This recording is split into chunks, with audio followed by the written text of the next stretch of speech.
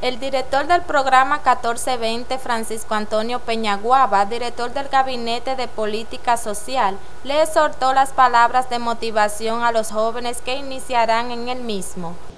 Que nace de la preocupación de la campaña electoral, donde salíamos a las 7 de la mañana con el presidente Luis Abinader siendo candidato presidencial del PRM, y veíamos cómo había tantos jóvenes en las esquinas que no lo habíamos vestido de colegio, pero tampoco iban para la universidad.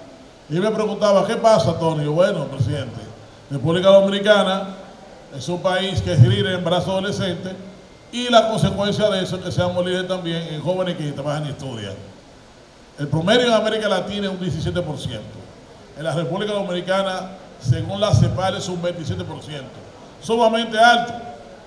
Y muchas veces nuestros jóvenes son atrapados por los vicios, conflictos con la ley. Ustedes saben que el 70% de las jefas de hogares son mujeres, en su gran mayoría muchas veces tienen que criar a sus hijos solas, trabajando y dejando a los jóvenes que están muchas veces a la expensa de lo que piensan nuestros barrios.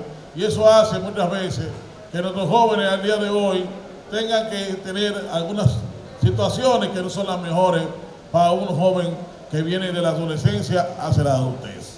En el mismo ámbito, el coordinador del gabinete, Víctor Alexander Mordán, explicó en qué consiste este programa 1424 y en qué beneficia a los jóvenes.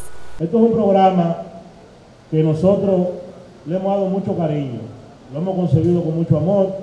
El presidente le nació una preocupación en la campaña al ver tantos jóvenes que no estudiaban ni trabajaban y trabajó una propuesta que salió a promoverla y a presentarse a la sociedad de qué haría de llegar al gobierno con esa juventud que no estudiaba ni trabajaba. Fue una propuesta que nosotros al llegar al Gabinete de Política Social la recogimos, evaluamos cuáles eran las dificultades para implementarla y la enriquecimos con un paquete de beneficios que sirviera para atraer un tipo de población que no estaba siendo atendida por nuestro país. De igual modo hicieron acto de presencia la gobernadora provincial Yadira Báez y el diputado Julito Furcal, los cuales manifestaron lo siguiente. Sentimos nosotros lo que ya hemos pasado, la barrera de la juventud, porque ya lo que estamos sentados de frente a ustedes, tenemos un poquito más de años. Tenemos 25, 26, 27 y 28. Así que le llevamos un par de años a ustedes. Pero nos sentimos orgullosos de que ustedes hayan decidido dar un paso al frente. A partir de hoy, sus vidas comienzan a cambiar.